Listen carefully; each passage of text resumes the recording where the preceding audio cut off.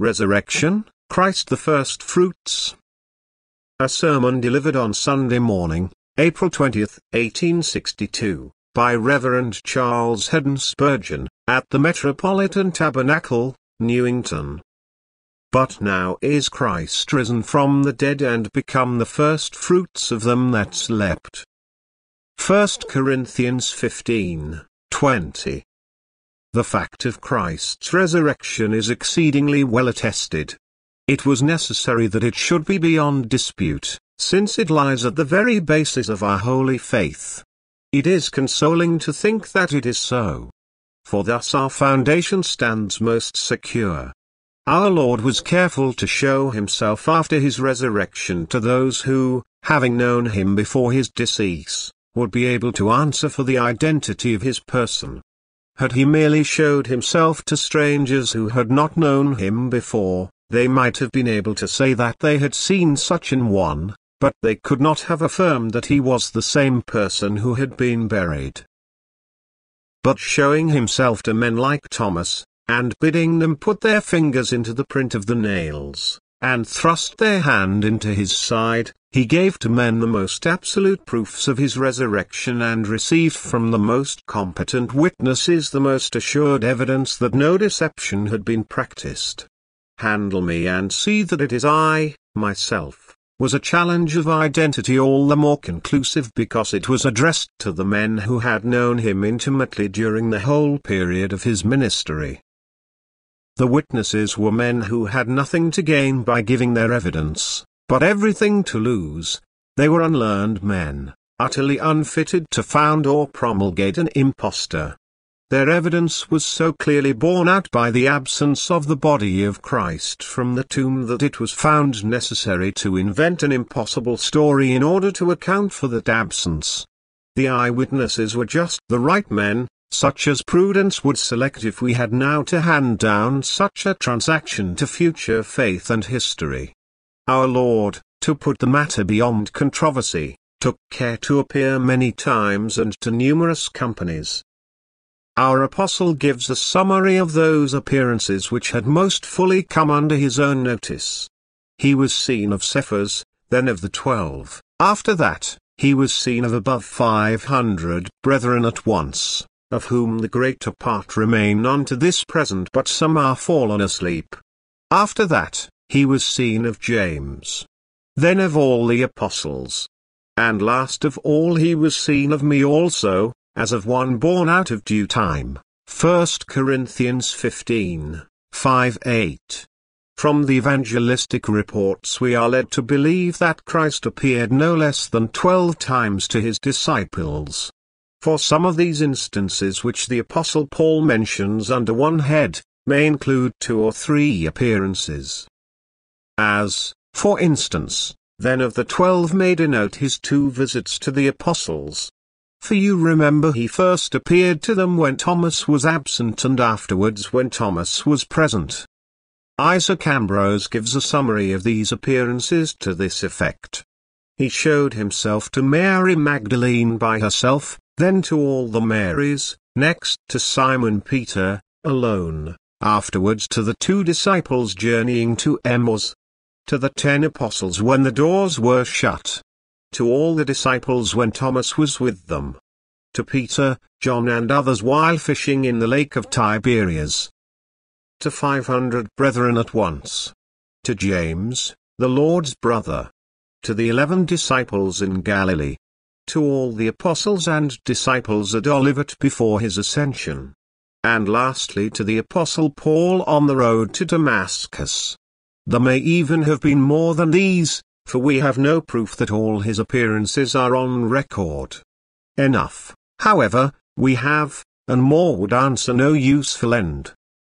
So clear is the evidence of Christ's resurrection, that when Gilbert West, a celebrated infidel, selected this subject as the point of attack, sitting down to weigh the evidence and to digest the whole matter, although filled with prejudice, he was so startled with the abundant witness to the truth of this fact, that he expressed himself a convert and has left as a heritage for coming generations a most valuable treatise, entitled, Observations on the Resurrection of Christ. He laid down certain laws of evidence to begin with, and then went to the matter as though he had been a lawyer examining the pros and cons of any matter in dispute. And this, which is the fundamental doctrine of our faith, seemed to him so exceedingly clear that he renounced his unbelief and became a professor of Christianity. Does it not strike you that very many events of the greatest importance recorded in history and commonly believed, could not in the nature of things have been witnessed by one-tenth as many as the resurrection of Christ? The signing of famous treaties affecting nations, the births of princes, the remarks of cabinet ministers, the projects of conspirators, and the deeds of assassins, any and all of these have been made turning points in history and are never questioned as facts. And yet few could have been present to witness them.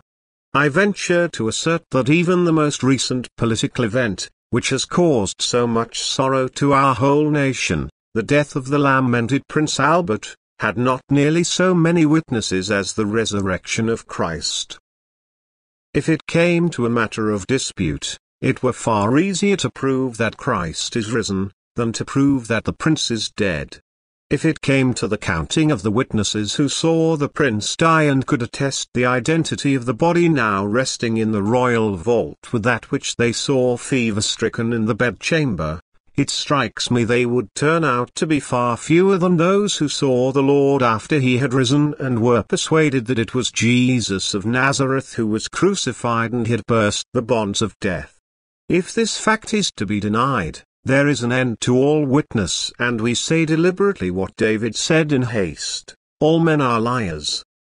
And from this day forth every man must become so skeptical of his neighbor, that he will never believe anything which he has not himself seen.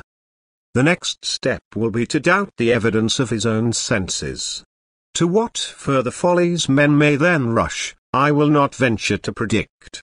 We believed that the very best attested fact in all history is the resurrection of Christ.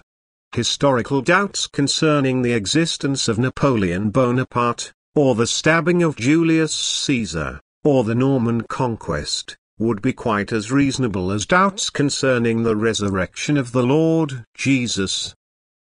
None of these matters have such witnesses as those who testify of him, witnesses who were manifestly truthful, since they suffered for their testimony and most of them died ignominious and painful deaths as the results of their belief. We have more and better evidence for this fact than for anything else which is written in history, either sacred or profane. Oh, how should we rejoice, we who hang our salvation wholly upon Christ, that beyond a doubt it is established that, now is Christ risen from the dead. But you may ask the question at the outset, why is it that the resurrection of Christ is of so much importance? Upon it we have said that the whole system of Christianity rests. For, if Christ is not risen, then is our preaching vain and your faith is also vain. You are yet in your sins. 1 Corinthians 15, 14, 17. The divinity of Christ finds its surest proof in his resurrection, since the Apostle tells us in the first chapter of Romans, at the fourth verse, that Christ was declared to be the Son of God with power, according to the Spirit of holiness, by the resurrection from the dead. It would not be unreasonable to doubt his deity if he had not risen. Moreover, Christ's sovereignty also depends upon his resurrection for scripture affirms, to this end Christ both died and rose and revived, that he might be Lord, both of the dead and living. Romans 14, 9. Again, our justification, that choice blessing of the covenant, hangs upon Christ's resurrection. He was delivered for our offences and was raised again for our justification. Romans 4, 25. No, more, our very regeneration depends upon his resurrection, for Peter, speaking by the Holy Spirit, exclaims, Blessed be the God and Father of our Lord Jesus Christ, which according to his abundant mercy has begotten us again unto a lively hope by the resurrection of Jesus Christ from the dead. 1 Peter 1, 3. And most certainly our ultimate resurrection rests here. For, if the spirit of him that raised up Jesus from the dead, dwells in you, he that raised up Christ from the dead, shall also quicken your mortal bodies by his Spirit that dwells in you. Romans 8, 11. If Christ is not risen, then shall we not rise. But if he is risen, then they who are asleep in Christ have not perished, but in their flesh shall surely behold their God. It would not be difficult to enlarge this catalogue. The fact is that the silver thread of resurrection runs through all the blessings, from regeneration onward to our eternal glory, and binds them together. It is time to pass on and come more fully to the text. But now is Christ risen from the dead and become the first fruits of them that slept. Let me draw your attention, first of all, to the pictures here given of the death of the saints. Further, we shall observe the singular relationship which exists between Christ's resurrection and the resurrection of the saints. And before we leave the subject, we shall suggest certain practical considerations arising from the doctrine before us. 1.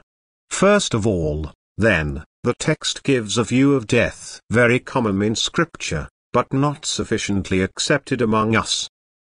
The representations of the text, I take it, are twofold. Death is here compared to a sleep, the first fruits of them that slept. But moreover, you will plainly perceive it is compared also to a sowing. For Christ is pictured as being the first fruits. Now, to a harvest there must have been a sowing. If the resurrection of Christ is the first fruits, then the resurrection of the elect must be looked upon as a harvest, and death would, therefore, be symbolized by a sowing. 1. First, then, we have before us the picture so commonly employed in Scripture of death as a sleep. We must not make a mistake by imagining that the soul sleeps. Such a heresy was once received by a large number of persons, it has long ago been rejected as being inconsistent, as well as with natural as with revealed religion. The soul undergoes no purgatorial purification or preparative slumber in the limbo of the fathers. Beyond a doubt, today shall you be with me in paradise, is the whisper of Christ to every dying saint. They sleep in Jesus but their souls sleep not. They are before the throne of God, praising him day and night in his temple, singing hallelujahs to him who has washed them from their sins in his blood.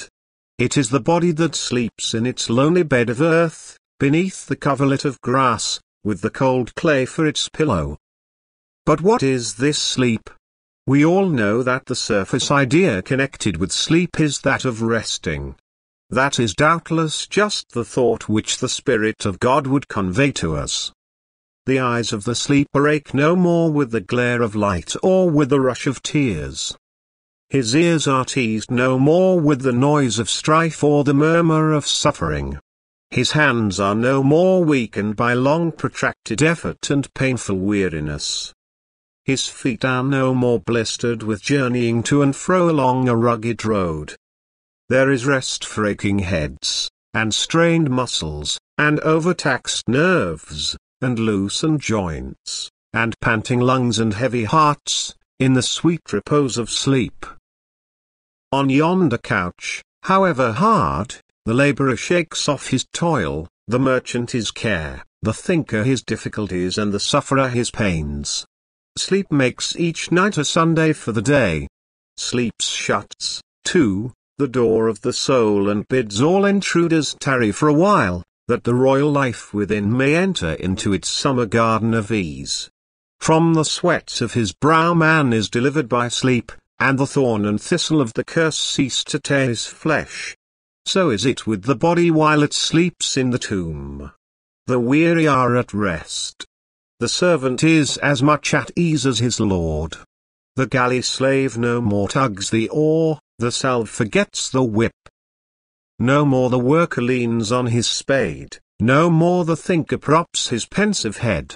The wheel stands still, the shuttle is not in motion, the hand which turned the one and the fingers which threw the other are quiet. The body and all its members find the tomb a couch of sufficient length and breadth. The coffin shuts out all disturbance, labor, or effort. The toil-worn believer quietly sleeps, as does the child weary with its play, when it shuts its eyes and slumbers on its mother's breast. Oh, happy they who die in the Lord. They rest from their labors and their works do follow them. We would not shun toil, for though it is in itself a curse, it is, when sanctified, a blessing. Yet toil for toil's sake we would not choose, and when God's work is done we are too glad to think that our work is done, too. The mighty husbandman, when we have fulfilled our day, shall bid his servants rest upon the best of beds, for the clods of the valley shall be sweet to them. Their repose shall never be broken until he shall rouse them up to give them their full reward. Guarded by angels, curtained by eternal mysteries, resting on the lap of Mother Earth, you shall sleep on, you inheritors of glory, till the fullness of time shall bring you the fullness of redemption. Moreover, we look upon sleep as a season of forgetfulness and in this, too, it images death. Their memory and their love are lost. They are alike, unknowing and unknown. Their sons come to honor and they know it not. Or their seed degenerates but it causes them no grief. Let armies march over their tombs, their tramp shall disturb them no more than the crawling of a worm. Let the vault of heaven blaze with the flaming bolts of God, let the earth shake at the awful voice of the thunder, let the cedars be broken, let the rocks be shivered, let the sea roar, there, under their green hillocks they slumber as peacefully as though it were a soft summer evening when the hum of a bee or the flitting of a fly were the only sounds. The dead may be remembered by their kinsfolk. But they remember not. They have forgotten the joys and the sorrows, the peace and the strife, the defeats and the victories of time. The soul forgets not. And we have no reason to believe that the glorified are ignorant of what is going on below. We have far more presumptive evidence that they know even as they are known that they still have communion with the living church on earth and that the church victorious is not sundered from the church militant in point of knowledge. But as to their bodies, what do their bodies know? What does the human organism now understand? Take up the skull, see if there is memory there. Look at the place where once the heart was, and see if there is any trace of present emotion. Gather into your hands the bones, See if they are still obedient to muscles which could be moved at will as passing events might affect the mind. Try to discover any live coals amid your heap of ashes, a heart still quivering with delight, or an eye moistened by a sorrow. These dry bones are forgetful, indeed, steeped in forgetfulness, these decayed skeletons know nothing. But yet once more, sleep has its intent and purpose. We do not close our eyes without aim and open them again without benefit. The old cauldron of Medea has its full meaning in sleep. In the old tradition we read of Medea the enchantress casting the limbs of old men into her cauldron that they might come forth young again. Sleep does all this in its fashion. We are old enough oftentimes, after hours of thinking and of labor, but we sleep and we wake refreshed as though we were beginning a new life. The sun begins a new day when he rises from the eastern sea. And we begin a new life of renewed vigor when we rise from the couch of quiet rest. Tired nature's sweet restorer, balmy sleep. Now, such is the effect of the body's visit to its grave. The righteous are put into their graves all weary and worn. But such they will not rise. They go there with the furrowed brow, the hollow cheek, the wrinkled skin, they shall wake up in beauty and glory, The old man totters there, leaning on his staff. The palsied comes there, trembling all the way. The halt, the lame, the withered, the blind journey in doleful pilgrimage to the common dormitory.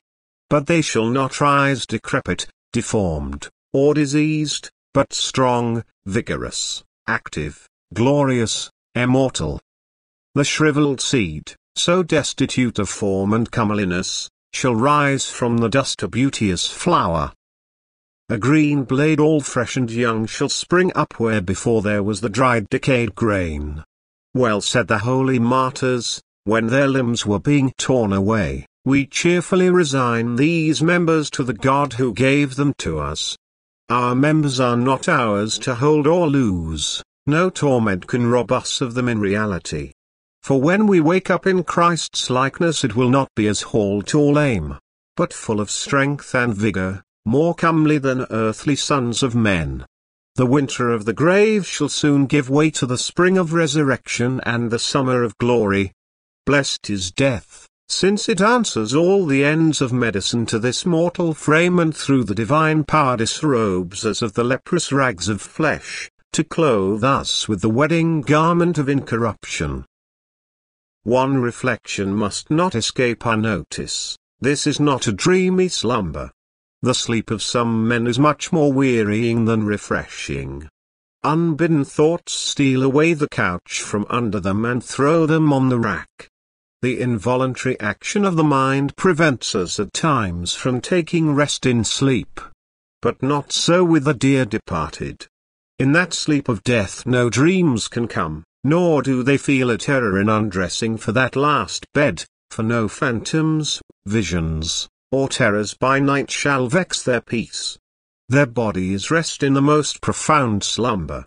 It is sleep, indeed, such as the Lord gives, for, so he gives his beloved sleep. Nor ought we ever to look upon it as a hopeless sleep. We have seen persons sleep who have been long emaciated by sickness, and we have said, that I will never open again. He will sleep himself from time into eternity. We have felt that the sleep was the prelude of the eternal slumber, and might probably melt into it. But it is not so here.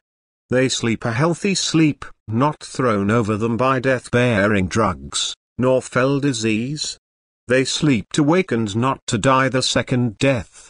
They sleep to wake, to wake in joyous fellowship, when the Redeemer stands in the latter day upon the earth. Sleep on, then, you servants of the Lord, for if you sleep, you shall do well. Indeed, concerning these departed ones we may well speak of taking rest in sleep. Dear friends, ought not this view of death as a sleep, prevent our looking upon it in so repulsive a light? I know we like not to look at dead bodies, we are afraid to touch them. Some foolish people do not like to remain in the same house with a corpse, at least alone, or at night. There is a certain horror connected with the ruins of our earthly house. Did you ever feel horror at a sleeping child? Do you feel any sort of dread of your sleeping mother, or your slumbering husband or wife? Have you felt anything dreadful to draw back the curtain of the little cot and to gaze upon the sweet young face when the eyes are closed in happy sleep? Oh, why, then, should you think it dreadful to look upon the sleeping believer's brow? True, there are marks of decay which are not pleasant to nature. But are they not the footprints of the retreating enemy and signs that the corruptible is passing away to make room for incorruption? Do not those very marks which mar the form indicate that the ragged smoke-black tent of Kedar is being pulled down so that the curtains of Solomon may glitter in their place, and that the soul may dwell there as in a fair pavilion? Oh, look not upon the departed as though they were dead, but speak of them as Christ did of his friend, our friend Lazarus sleeps. Let the ears of your faith hear the Master say, and I come that I may awake him out of his sleep. Let not the grave seem more abhorrent to you than your bedchamber. Let there be, by no means, such a view of the death of the redeemed as to wish them back again. would you wish, when your friend has long been in excruciating pain, and at last falls into sleep, to shake him in his bed, to awake him, to tell him some idle tale? Number. You have been watching for hours and you have said, oh, that he could have a little sleep. Doctor. Can you not give some sleep to this poor tortured frame? And at last you have said, thank God. His eyelids drop. Speak softly. Tread lightly. He sleeps. And you have been afraid even to let your foot fall upon the ground, lest you should awaken him. And what? After all the pain, the suffering, the temptation and the trial of your friends, do you wish to awake them? Rather I think you should say, I charge you, O you daughters of Jerusalem, that you ask not that he should be stirred up or awakened until Jesus please. Let him sleep on while the night lasts, and then, at the trump of the archangel, and the voice of God, he shall wake in the morning when the sun has risen upon the earth. 2.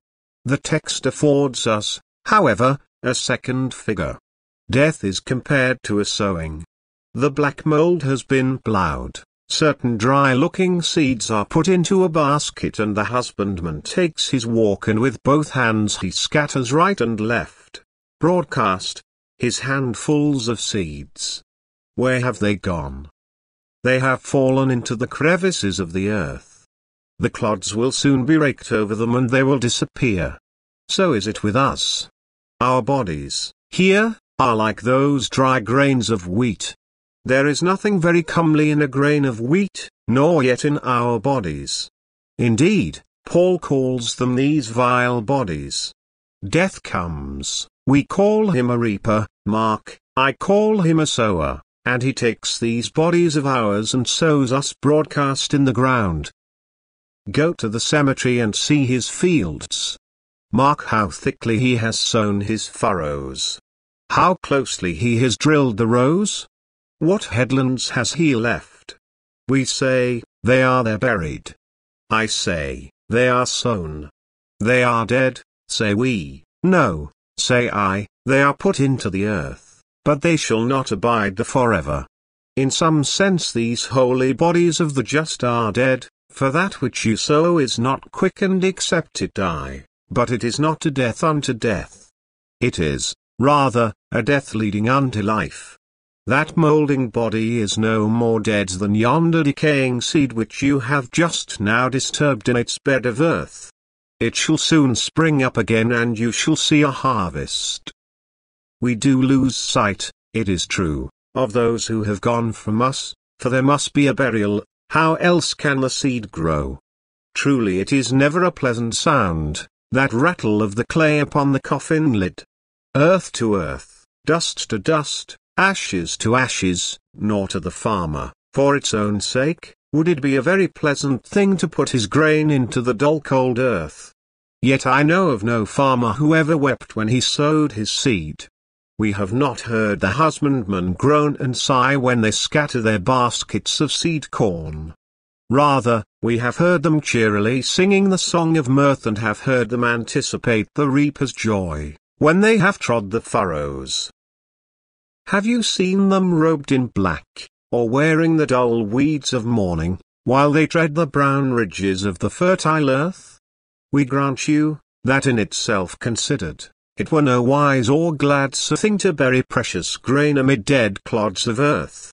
But viewed in the light of harvest, since there must be a burial, and after the burial a rottenness and a decay, both of these lose all traces of sorrow and become prophets of joy.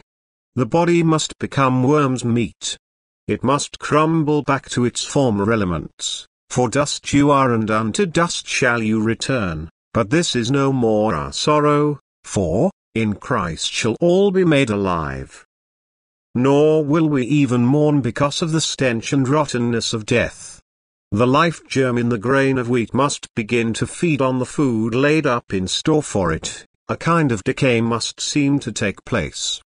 But I know no farmer ever weeps because the seed which he has put into the ground has swollen and lost its former size and shape. he never mourns if he is told the seed he has put into the ground is undergoing the death that is necessary for its future growth. No, he rejoices in patient hope. Therefore, you worms, should you force me to weep? And why, corruption, should you make me sigh?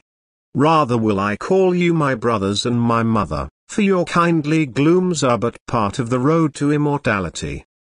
After sowing and decay, comes a springing up and the farmer soon perceives, in a few short weeks, the little green blade, the son of the buried life. So with the dead. There is soon to come, and how soon we do not know, the springing up. We shall thus perceive that they were not lost but only committed to the grave, in readiness for the redemption, put there that our souls might, when reunited, receive them in a better and nobler form. Dear friends, if such is death, if it is but a sowing, let us have done with all faithless, hopeless, graceless sorrow. The granary is empty, says the farmer. Yes, but he does not sigh over it. For the seed is put into the ground, in order that the granary may be filled again. Our family circle has been broken, you say. Yes, but only broken that it may be formed again. You have lost a dear friend, yes, but only lost that friend that you may find him again, and find more than you lost. They are not lost. They are sown. And as light is sown for the righteous, so are the righteous sown for light. The stars are setting here to rise in other skies to set no more. We are quenched like torches only to be lit once more with all the brilliance of the sun. 2. We will not tarry longer on this point but rapidly carry you to the second, the connection between the resurrection of Christ and that of believers. The text tells us that Christ is the first fruits of them that slept. Some professors take very great delight in the hope that they may be alive and remain, at the coming of Christ and so may never die. I confess I greatly rejoice in the hope that Christ will come. But the prospect of never dying has no sort of charms for me, for methinks those who never die lose a great privilege. At least, to our comprehension it seems so, for Christ is the first fruits of them that slept. Oh, then, it is a blessed thing to sleep, that Christ may be to us in the relationship of first fruits. They who never die can hardly know so much of fellowship with Christ in his death as those who fall asleep in Jesus. Whereas you and I, who feel the pin's prick of the dart of death, will be able to say in eternity, I, too, passed through the grave. He was with me passing through the valley of the shadow of death. I, in my own proper person, knew a death and a resurrection, too, even as did my Lord, which you who never died can only understand by hearsay and report. Oh, happy they who die. They that are alive and remain shall not precede them in any privilege or honor. But what is meant by Christ being the first fruits? You will remember that there was a feast of the Jews called the Feast of First Fruits. This was when the first sheaf was brought out from the harvest as a token of the whole. It was, first of all, heaved upward as a heave offering, and then waved to and fro as a wave offering. It was, thus, dedicated to God in testimony of the gratitude of the holders of the soil for the harvest which the Lord had given. Now, this happened on the first day of the week. You will remember that the Passover was celebrated first. Then came a Sabbath day. Then after that came the Feast of First Fruits. So Christ died on the Passover. He, as the slaughtered Lamb of God, of God's Passover, died exactly at the Passover season. The next day was the sabbatical rest, Christ's body, therefore, tarried in the grave. Then early in the morning of the first day, before it was yet light, while yet the sun was rising upon the earth, Christ rose, on the morning of the feast of the first fruits. And so he is revealed, as the blessed wave sheaf preceding and consecrating the whole harvest. but the uninstructed believer asks me to explain at greater length. Beloved, remember then, that Christ was the first that rose from the dead in order of time. You will mention to me Enoch and Elijah. We answer that they never died but were translated that they should not see death. You will remind me of the widow's son who was raised by Elijah and the young man restored by Elisha. Yes, but these are not cases in point. They were raised but they died again. All the instances in the Old Testament are only temporary restorations and so also those in the New. In no instance, save in that of Lazarus, were any of them buried at all, so that none of them came out of their graves. And even in the case of Lazarus, he lived but to die. He had a furlough from the tomb. But at the expiration of the due time, his body was yielded to the appointed keeper. Christ was the first who really rose no more to die. He leads the vanguard through the dark, and his brow first salutes the light of the plains of heaven beyond the gloom. Men admire the man who is first to discover a new country. The name of Columbus shall ring in the ears of ages, because he first crossed the stormy sea to win another world. The name of the man who climbed the mountains and first saw the broad Pacific with exceeding great joy, is well remembered. Oh, then, sing it in songs, sound it with voice of trumpet to the ends of the earth. Christ is the first who returned from the jaws of death to tell of immortality and light. He is also first in point of cause. For as he comes back from the grave, he brings all his followers behind him in one glorious train. We read of Hercules in the old mythology descending into Hades and bringing up his friend. Verily went Christ there and he gave no sop to Cerberus but cut off his head. Like a sun he suddenly flashed upon the night of death and scattered its darkness. Like Samson in Gaza, he tore up the gates of death and carried away the bars of the grave. Like David, he delivered his flock out of the jaws of the lion and took the monster by the beard and slew him. Like Abraham, he resumed triumphantly from the slaughter of the kings. Like Moses, he led his Israel out of the house of bondage. With ten thousand times ten thousand he came forth with a high hand and an outstretched arm. Who is this that comes up from the land of darkness, from the gates of the grave? Who is this that drags behind him captive the grim prince of the realms of death shade? Who is this, so strong, so mighty, that adamantine walls give way before him and gates of brass are broken in two? It is he, it is he. It is the same conqueror who came from Edom, with dyed garments from Bozrah. The victory on the cross is succeeded by a victory in the tomb. He who won heaven for earth when he died, wins heaven for the dead when he descends into the grave. Sound his praises. Proclaim his victories. Let heaven itself take up the strain. He has led captivity captive, rifled the grave and robbed death of his sting. He is the death of death and hell's destruction. But then, again, he is first in point of pledge. The first fruits were a pledge of the harvest. From where, O husbandman, from where have you brought yonder sheaf? I gathered it, says he, from the fields that are waving with plenty. Verily, says the priest, the harvest is plenteous this year, and full, and many are the ears, for this sheaf bears good witness. From where, O power divine, did you bring this glorious sheaf, this body of our Lord, so bright and glorious? From where did you bring it, O Spirit of the Lord? Is there a harvest of many shocks of corn such as this? Yes, verily, says the teacher, this is but one among many, the firstborn among many brethren.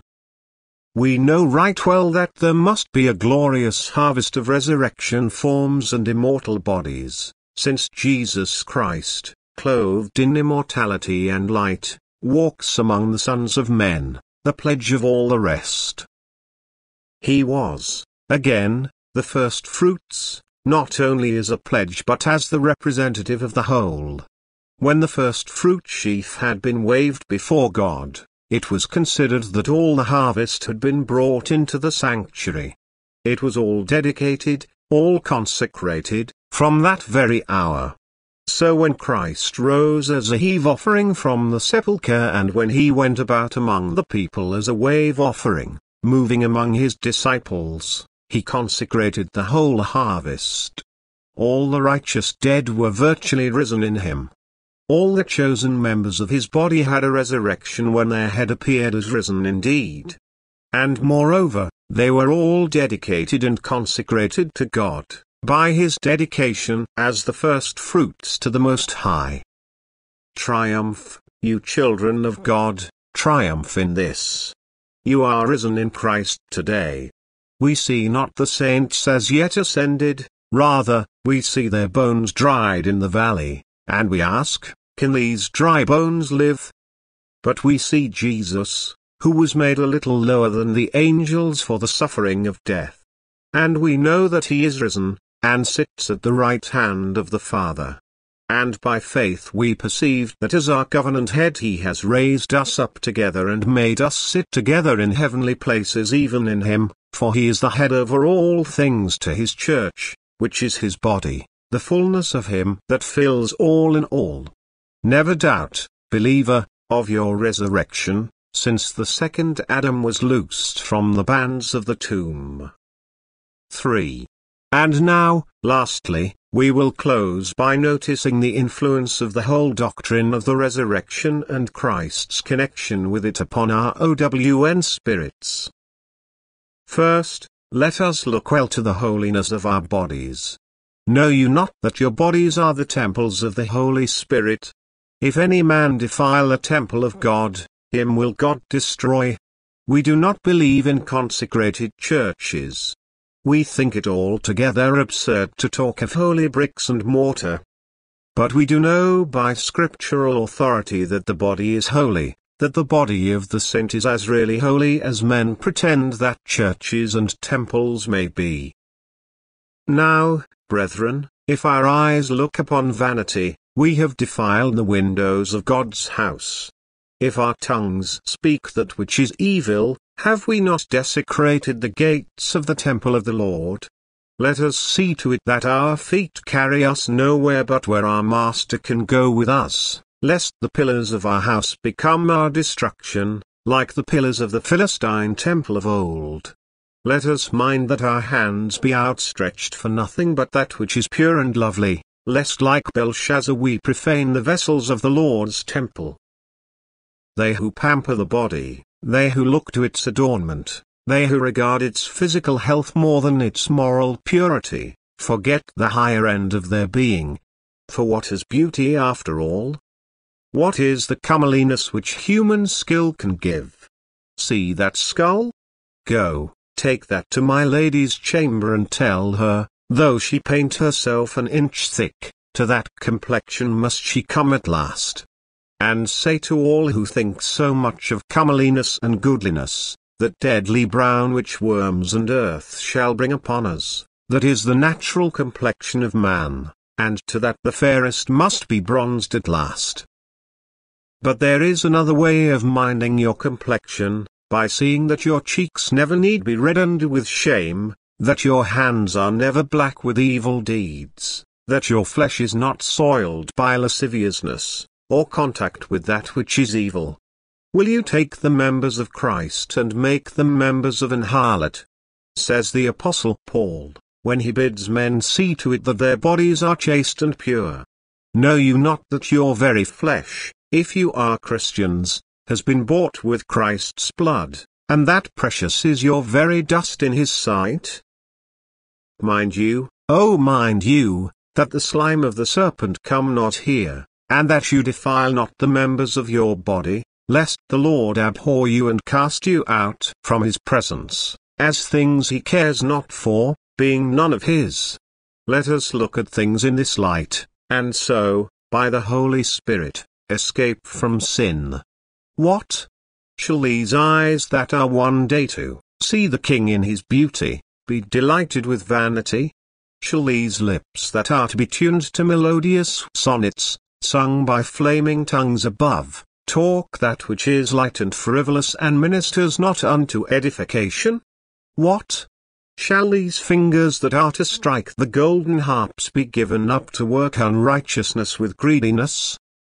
No, as we are to be fellows with the angels and more glorious than they. And as these bodies are to be made like unto Christ's body, let us keep them pure, washed with clean water by his Spirit, renewed and preserved, that we go not astray unto sin. But, secondly, another thought arises here. Are we among those for whom Christ thus stood as first fruits? For Christ is to rise first. And as the first fruits, afterwards they that are Christ's, at his coming. Then when do the wicked rise? There are two resurrections. And blessed and holy is he that has part in the first resurrection, on such the second death has no power.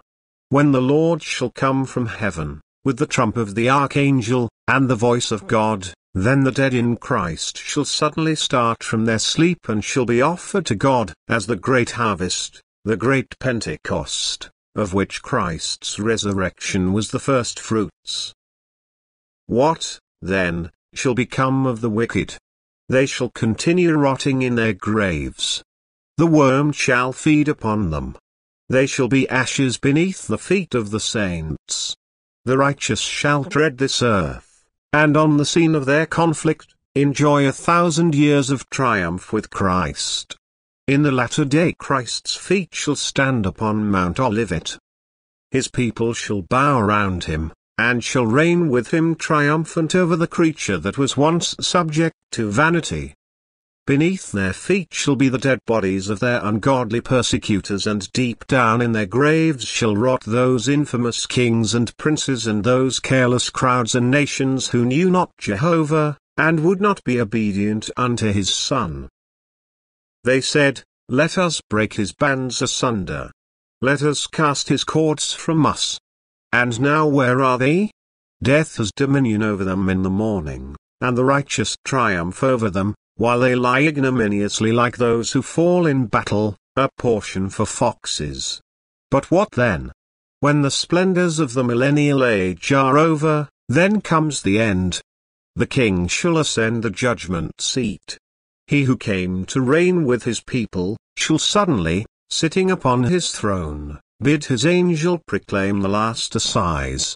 Then, unwillingly shall souls tormented in hell come back from Tophet to be reunited with their equally guilty bodies, and he who is able to destroy both body and soul in hell, shall say, Gather them together in bundles to burn them.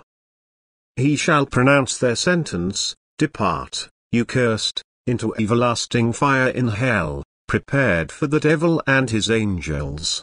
Oh, that you and I may be among the harvest and not the vintage. There are two ingatherings mentioned, you remember, in the Revelation. The harvest is the gathering in of the righteous. They are carefully housed in God's barn. The vintage is the gathering of the wicked. They are cast into the winepress of the wrath of Almighty God, and they are trod under foot till their blood runs forth up to the horses' bridles. Now, how am I to know whether I belong to that portion of which Christ is the first fruits? Why, thus, if Christ rose for me and if I rose in him, then I died in him. Oh, soul, do you believe that Christ died for you? Have you a part in his passion? Do you hope in his agonies? Do you rest on his cross? If so, he that died for you rose for you too, and you are a part of that holy lump of which Christ was the holy offering. Have you died with Christ yourself? Are you dead to the world? Do you hate the things that you did once love? Are you weaned from your old pleasures? Do you seek for something higher and better? Ah, then, if you have died with him, you are risen with him. Say, now, do you desire to be one with Christ? For if you are one with him in heart, you shall be one with him in all his trophies and his glories. Do you say, number? I care not for Christ. Sold. Sold. If you die in that mind you shall have no part in the first resurrection. But when the wicked rise, then shall you, awaken to shame and everlasting contempt. But and if you say in your heart this morning, I believe that Jesus Christ rose from the dead according to the Scriptures. I put my soul and only trust in Him. He is to me all my salvation and all my desire, go your way.